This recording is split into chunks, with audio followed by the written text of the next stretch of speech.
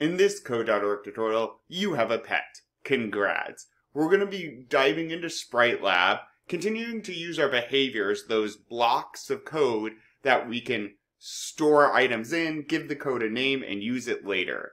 Let's get going. This is code.org. Let's see what we have here. Free play. Whoa, check out this cool pet. While reading the code below, ask yourself, how would you command the pet? Okay. Uh, what happens when the pet touches the ice cream? How about the pepper? How is the energy variable ooh, used?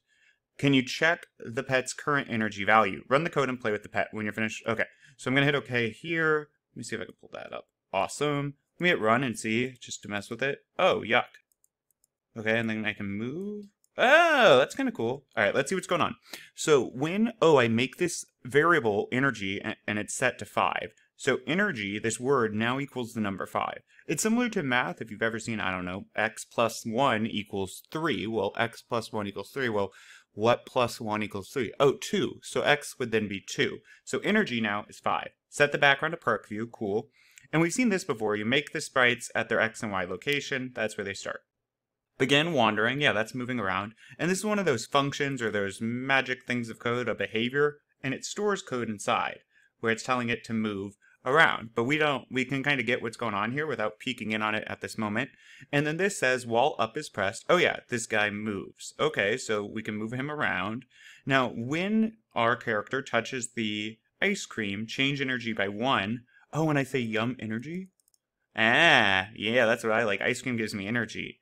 Yuck, energy reset. Oh, it goes to zero? Oh no, it goes to set energy to five. Oh, and do I start? I start with an energy of five and I add one to it if I get the ice cream. But apparently I hate peppers, so I set it back to five if I eat a pepper. Oh, and if I click him, oh, it prints my energy. Oh, that's kind of cool. Cool. Well, let's make our own. All right.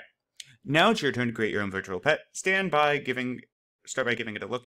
Cool. Okay, so we can click costumes, and we have a few options. They start us with a cat, or we can add a new one. Oh yeah, 100% this dude. Okay. And it said we can edit it some, or we can draw our own. If you want to draw your own, you can always just click new and draw my own. I'm not going to do that though, but you can see what I mean. Cool. So let's go ahead and I'm going to just edit it a bit. So I just want mine to have green eyes and some yellow teeth because he's a crazy monster. All right, coat. Now, okay, I got my costume. Edit the starting costume or add a new one. Change the sprite's costume in your code. Okay, make a new. Click, and I made this dude. Cool. Click run to see how your new pet looks. Okay. Run.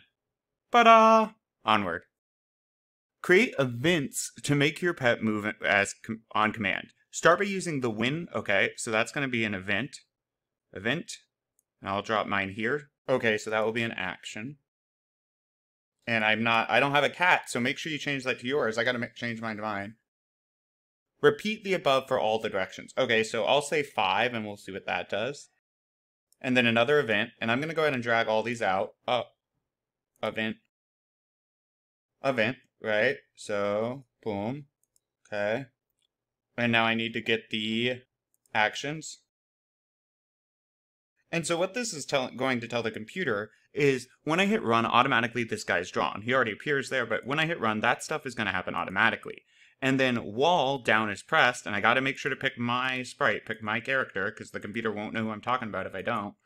Um, when down is pressed, I need to go south, of course. When left is pressed, west, and then when right is pressed. And I could try changing these. Let's see how fast they are, though. Oh, I missed one. Let's see the other directions. Cool. And I'm liking that speed. Onward. Ooh, now what do you have? Let's make some wandering food. Add two sprites to your world. Make one sprite look like your pets like to eat, and the other one that it doesn't. Okay, two more sprites, so I'm headed to costumes, and boop. And actually, you can, uh, it might throw you off if you have it elsewhere. You can always get rid of stuff you're not using. What does my sprite like to Ooh, that looks bad. Okay, my sprite doesn't want to eat that. But my sprite does want to eat and keep in mind, Sprite's just a name for a character. Oh yeah, my Sprite definitely wants to eat one of these. Yum. Okay, and I can edit this, so maybe since my dude has some green, may turn this to a red skull, and you can add your own flair. Oh no. Hopefully you're a better artist than I am. Oh, that looks tiny. And I like that one as is. Maybe I'll just make the top, I don't know, yellow. But, uh, okay. So there's mine. Now, make each sprite begin wandering behavior immediately after it appears. So I need to add it to my win run. I'm going to move this out of the way so I have a bit of room. And then... And then I need to add that one and this one. And it's going to start random, so I'm fine with that. But I need to make them wander. Ah. So to make these wander,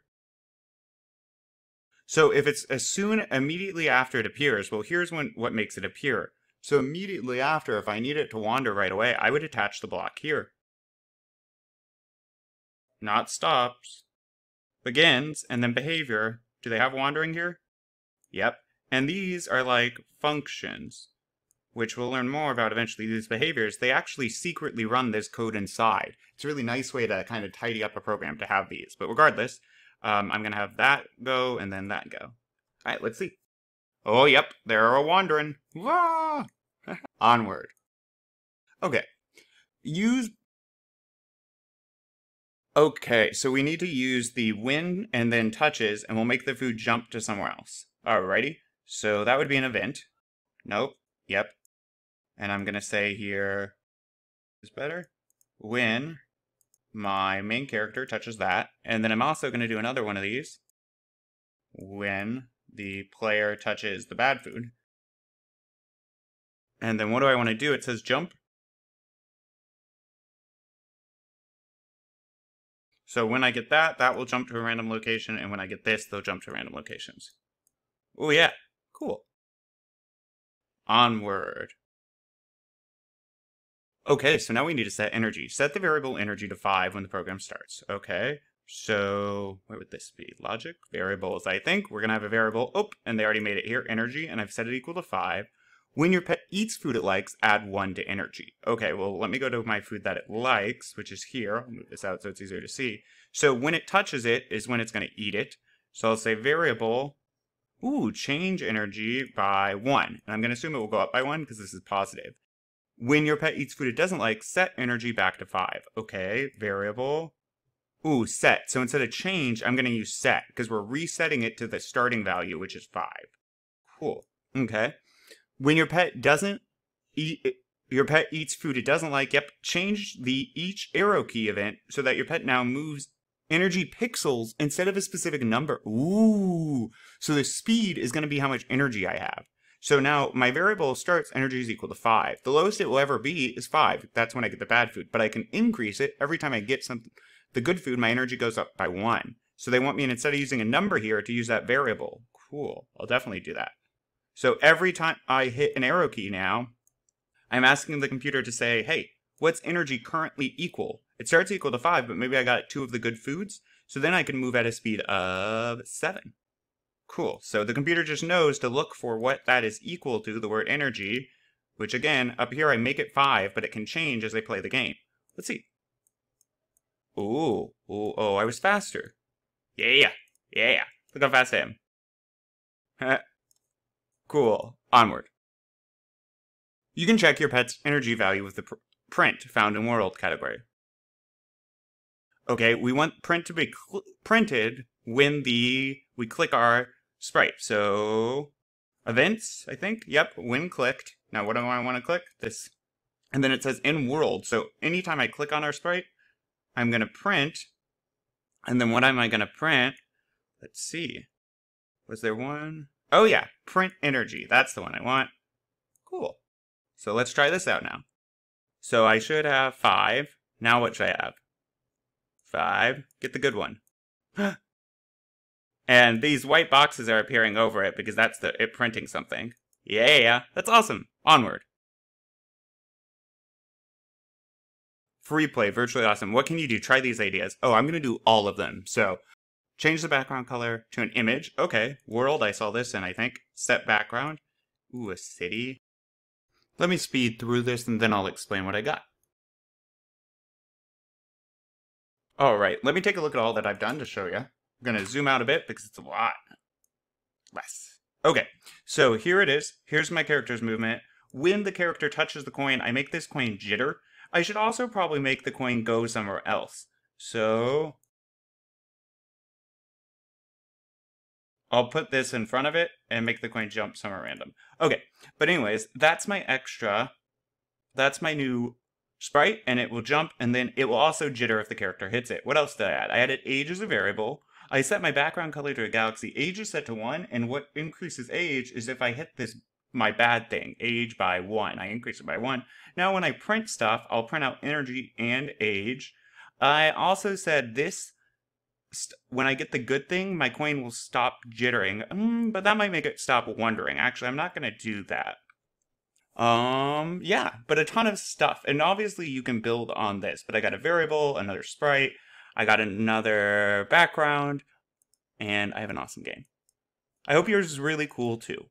Onward.